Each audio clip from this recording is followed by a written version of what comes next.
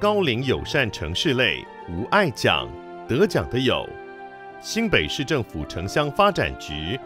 以直接入住社宅，透过社宅中各式无障碍通用设计，让长者可以在地安养，提升老后的生活品质，打造宜居无碍的友善城市。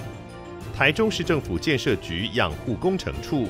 透过阳光公厕、共融公园及人本无障碍环境三大推动重点。将老旧公园全面翻新，打造优质友善的休闲环境。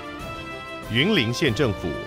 整合各局处辅具资源平台，打造符合永续发展智慧富康巴士，提供不同失能程度长者之住所与服务，让高龄长者及失能者受惠于智慧科技。嘉义市政府交通处。借由打造电动公车，深入各里，主动带领长者搭乘大众运输等方式，提升长者大众运输使用率，降低私有运具造成的事故率。金门县政府社会处